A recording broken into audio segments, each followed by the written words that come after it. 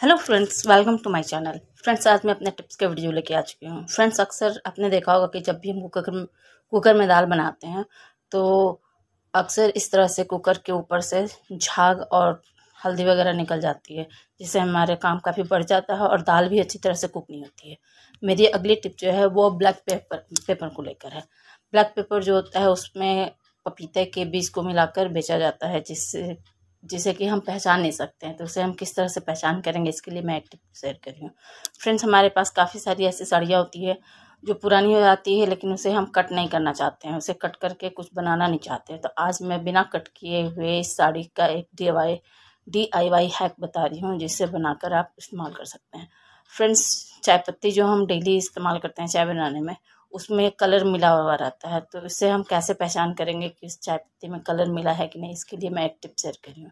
Friends इस तरह से हमारे पास काफ़ी सारे ऐसे कॉफ़ी मग या कप होते हैं जो हम डेली यूज़ में इस्तेमाल नहीं करते हैं, लेकिन क्या होता है कि उसे रखने से कभी ना कभी वो टकरा जाते हैं और उसका हैंडल टूट जाता है।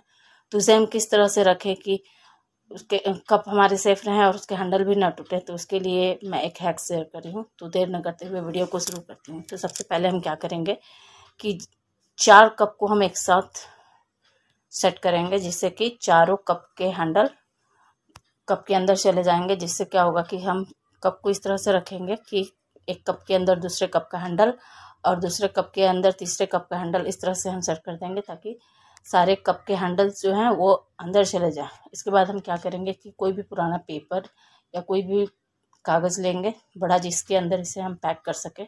तो मैंने यहाँ अखबार का एक पेपर लिया है और उसके अंदर हम अखबार को फोल्ड करके उसके अंदर हम कप को इस तरह से रख देंगे। आप चाहें तो इसे बाँध सकते हैं या टेप से चिपका सकते हैं। मैंने यहाँ इसे सिक्योर करने के लिए रबर बैंड का इस्तेमाल किया है। तो मैंने यहाँ क्या किया है कि दो रबर बैंड लिया है। इससे हम दो साइड से इस पर रबर बैंड लगा देंगे। इसके बाद हम इस कप को अलमारी ड्रॉर या शोकेस में कहीं भी रख सकते हैं। जिससे क्या होगा कि हमारा कप गंदा भी नहीं होगा और कभी गलती से हाथ लगने से कप टूटने का भी डर नहीं रहेगा तो इस तरह से आप अपने कप को साफ़ और टूटने से बचा सकते हैं। तो आई होप आपको ये टिप पसंद आई होगी। इसके साथ में ही मैं अपने अगले टिप की ओर बढ़ती हूँ। मेरी अगली टिप जो है, वह मिक्सर के चटनी जार को लेकर है। फ्रेंड्स, हम अक्सर मिक्सर के चटनी वाले जार का ज़्यादा इस्तेमाल करते हैं, क्योंकि इसमें थोड़ी क्वांटिटी में मसाला पीस जाता है और अक्सर हम थोड़ी क्वांटिटी में ही अदरक लहसुन को पीसते हैं, जिससे कि क्या होता है कि इसका धार भी ख़राब हो जाता है और इसमें इसमें से लहसुन का एक हार्ड स्मेल भी आता है। अब हम चाहते हैं कि इसका धार भी तेज़ हो जाए और इसके इसके अंदर से लहसुन का जो तेज़ स्मेल है वो भी निकल जाए तो उसके लिए हम क्या करेंगे कि मिक्सर ग्राइंडर में थोड़ी सी चाय पत्ती ले लेंगे। अगर आपके पास इस्तेमाल किया चाय पत्ती हो तो उसे भी ले सकते हैं। मेरे पास अभी इस्तेमाल किया हुआ चाय पत्ती नहीं था तो मैंने फ्रेश चाय पत्ती की आधा चम्मच ली है। उसके बाद हम क्या करेंगे कि इसमें नींबू को छिलके के साथ काट के डाल देंगे। अगर आपके पास सिर्फ़ छिलके हो तो उसे भी डाल सकते हैं। अगर आपके पास नींबू ना हो तो आप इसमें एक चम्मच विनेगर डाल दें। इसके बाद हम क्या करेंगे कि रेगुलर सॉल्ट जो होता है, जिसे हम खाने में इस्तेमाल करते हैं, उस सॉल्ट का एक चम्मच मैंने मिक्सर में डाल दिया। इसके बाद हम दवाई के खाली रैपर को लेंगे और उसे कट कर देंगे। तो मेरे पास ये दवाई मेडिसिन का पुराना रैपर था तो इसे हम छोटे छोटे टुकड़े में कट करके मिक्सर में डाल दे रहे। हैं अगर आपके पास दवाई का रैपर ना हो तो आप एलमिनियम फॉइल का भी छोटे छोटे टुकड़े इसमें डाल सकते हैं। एलमिनियम का फॉइल भी यही काम करेगा। मगर दवाई का रैपर जो होता है, उससे हमारे मिक्सर का ब्लेड काफ़ी अच्छा साफ़ होता है। तो मैंने इसमें सारे चीज़ों को रख दिया। उसके बाद हम इसमें क्या करेंगे? दो से तीन चम्मच पानी डाल देंगे ताकि जब हम इसे चलाएँ तो इसमें मीडियम एक रहे जिससे कि ये मिक्सी में चारों ओर अच्छी तरह से मिल जाए और सारी चीज़ मिलके इसके बदबू को हटाए। तो मिक्सर में हम एक से दो बार इसे चला लेंगे, उसके बाद हम इसे साफ़ पानी से धो लेंगे। उसके बाद आप देखिएगा कि इसका बदबू भी चला गया और इसका ब्लेड भी तेज हो गया। फ्रेंड्स, अगली टिप जो है वो चाय पत्ती को लेकर है। चाय पत्ती में अक्सर डर रहता है कि कहीं कलर मिला ना हो तो इसे चेक करने के लिए मैं यहाँ दो टिप शेयर करी हूँ। पहली टिप के लिए हम क्या करेंगे कि थोड़ी सी चाय पत्ती हम अपने हथेली पे लेंगे और चाय पत्ती पर हम पानी डालकर उसे इस तरह से उंगली से अपने हथेली पे रगड़ेंगे। ऐसा करने से अगर चाय पत्ती में कलर होगा तो कलर तुरंत निकल के हमारे हथेली पे लग जाएगा। मैंने इसे थोड़ी देर के लिए रब किया, लेकिन इसमें से कलर नहीं निकल रहा था। इससे पता चलता है कि इसमें कलर नहीं मिला हुआ है। और दूसरे टिप को टेस्ट करने के लिए हम क्या करेंगे कि एक ग्लास या कप में पानी लेंगे। पानी लेने के बाद उसमें हम क्या करेंगे कि थोड़ी सी चाय पत्ती डाल देंगे। चाय पत्ती डालने के बाद इसे हम चम्मच से मिला देंगे और उसे हम थोड़ी देर के लिए रख देंगे। ऐसा करने से अगर चाय पत्ती में कलर होगा तो चाय पत्ती का कलर जो है वो पानी में आ जाएगा और अगर कलर मिला रहेगा तो वो हल्का रेड हो जाएगा।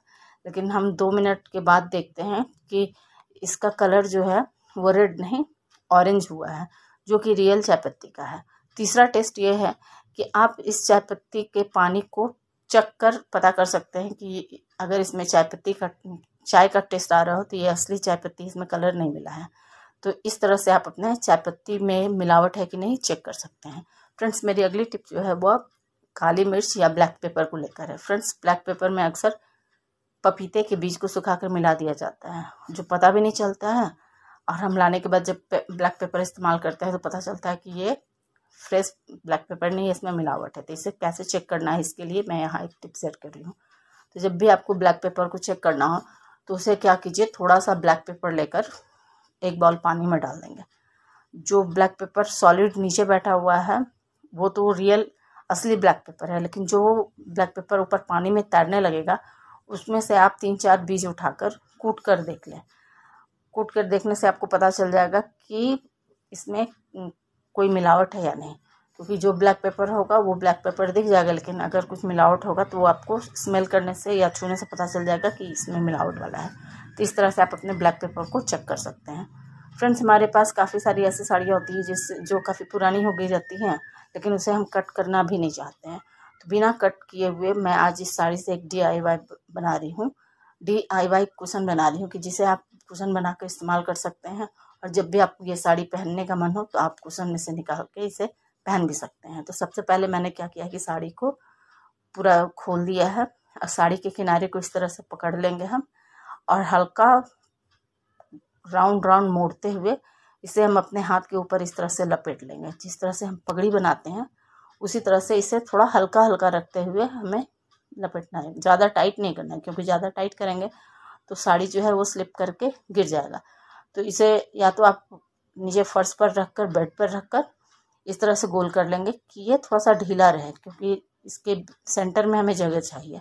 इसके बाद हम क्या करेंगे कि कोई भी पुरानी दुपट्टा हो थोड़े डिज़ाइन वाला हो तो ज़्यादा अच्छा होगा, क्योंकि जब हम कुशन बनाएँगे तो डिज़ाइन वाला दुपट्टा रहेगा तो दिखने में अच्छा लगेगा। तो मेरे पास ये एक पुराना दुपट्टा है जो डिज़ाइन वाला है। तो मैंने क्या किया है, दुपट्टे को डबल फोल्ड करके उसके बीच में साड़ी को डाल दिया। उसके बाद हम क्या करेंगे कि दुपट्टे के किनारे को चारों ओर से अच्छी तरह से पकड़ लेंगे, ताकि हम इसे बीच वाले होल से दूसरी तरफ़ निकाल सकें। तो साढ़े दुपट्टे को हम इस तरह से पकड़ लेंगे और नीचे से हाथ डालते हुए जो बीच में होल है, उस होल से हम दुपट्टे को, का इस पार्ट को दूसरे तरफ़ निकाल लेंगे ताकि ये खुले नहीं। इसके बाद हम दुपट्टा को पलट लेंगे। बहुत ही सावधानी से पलटेंगे ताकि ये खुले नहीं। फ्रेंड्स, इसके बाद हम क्या करेंगे कि इस इस पर आप चाहें तो डायरेक्ट मोटा वाला, इलास्टिक वाला रबर होता है, उसे लगा सकते हैं, या आप चाहें तो इस पर गिट्टा बाँध सकते हैं। मैंने यहाँ रबड़ लगाया तो रबड़ थोड़ा ढीला है और दुपट्टे का जो पार्ट है, वो ज़्यादा है, जिसके कारण ये खुल जा रहा है। तो इसलिए मैंने क्या किया है कि ये गाटर जो है, इसे निकाल कर मैं पहले इस पर छोटे से रस्सी से नॉट बाँध लूँगी, ताकि ये सिक्योर हो जाए बार बार खुले नहीं। इसके बाद हम इसके ऊपर इलास्टिक वाली जो रबर होती है, थोड़ी चौड़ी वाली, उसे लगा देंगे। तो इस तरह से हम पुराने साड़ी और पुराने दुपट्टे का इस्तेमाल करके कुशन बना सकते हैं। फ्रेंड्स, मेरी अगली टिप जो है, वो अक्सर हमारे किचन में हमारे सामने आती है। अक्सर क्या होता है कि जब भी हम दाल बनाते हैं तो दाल कुकर के ऊपर से झाग की तरह निकल जाती है। ऐसा इसलिए होता है कि सीटी वाला जो पार्ट होता है, उसमें कुछ ना कुछ गंदगी फंस जाती है तो उसे हम साफ़ करेंगे। तो सबसे पहले हम क्या करेंगे कि कुकर के सीटी को निकाल कर उसे ब्रश से साफ़ कर लेंगे। और कुकर का जो ये ये पार्ट है, जिसमें हम विसल को लगाते हैं, उसमें गंदगी को साफ़ करने के लिए हम क्या करेंगे कि एक सुई में धागा डाल के ले लेंगे।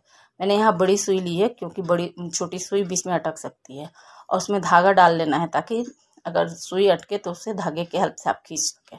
उसके बाद हम क्या करेंगे कि सुई सॉरी सीटी डालने वाले में नीचे से हम सुई को डालकर ऊपर निकाल लेंगे और उससे धागे के हेल्प से ऊपर नीचे करते हुए साफ़ कर लेंगे। जो भी गंदगी होगी वो निकल जाएगी। उसके बाद मैंने क्या किया है कि एक दूसरी छोटी सुई ली है और सीटी के नीचे वाला जो पार्ट होता है कुकर का उसका जो होल होता है, उसे भी हम इस तरह से सुई डालकर निकाल कर साफ़ कर लेंगे, ताकि जो भी फ़ूड पार्टिकल फंसा हो, वो निकल जाए। इस तरह से साफ़ कर लेने के बाद हम सीटी को लगा देंगे। आप इसे धो लीजिएगा। धोने के बाद सीटी को लगाकर